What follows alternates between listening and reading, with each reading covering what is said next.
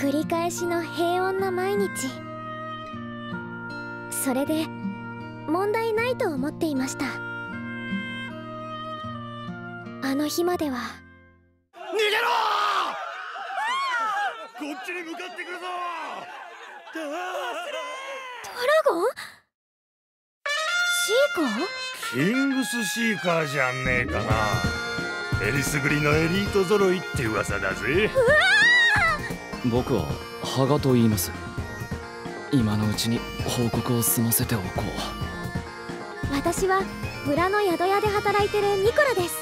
ひょっとして王様が使わしたっていうシーカー様だったり？お前真面目すぎだろ。頼りになるのかならんのか。わからんやつらだな。びっくりしたよね。ごめんね。大丈夫。僕は敵じゃないよ羽賀さんはあそこで何をされてたんですか？ドラゴンを近くで観察したくって。羽賀さんえ？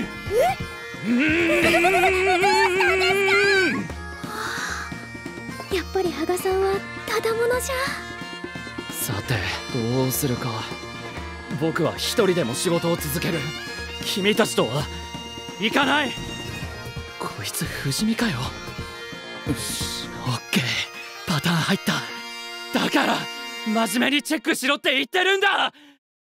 ニコラさん村へ戻って。すぐに村に戻って。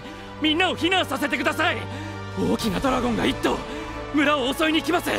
早く走って！はい！ニコラ今は君を死なせるわけにはいかないんだ